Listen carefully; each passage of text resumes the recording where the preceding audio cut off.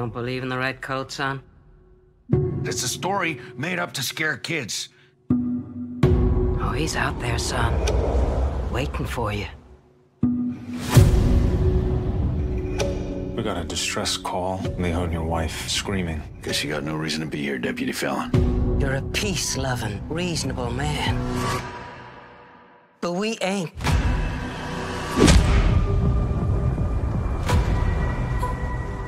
The red coat, he's primal. We feed him.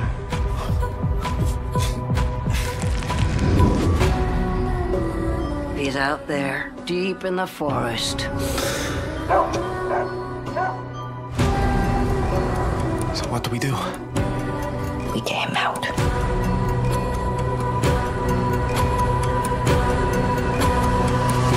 Do you drink human blood? You offer him?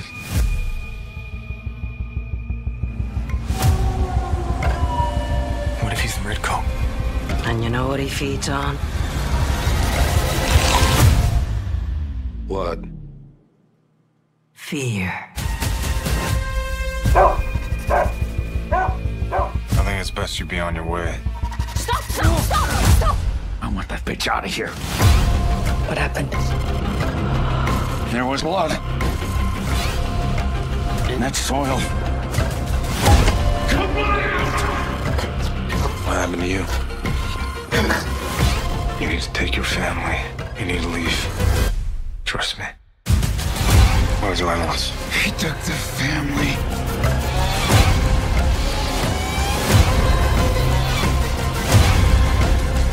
The fields are dying. The land done turned its back on us.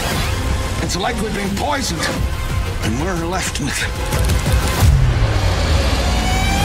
fear. Ain't welcome here.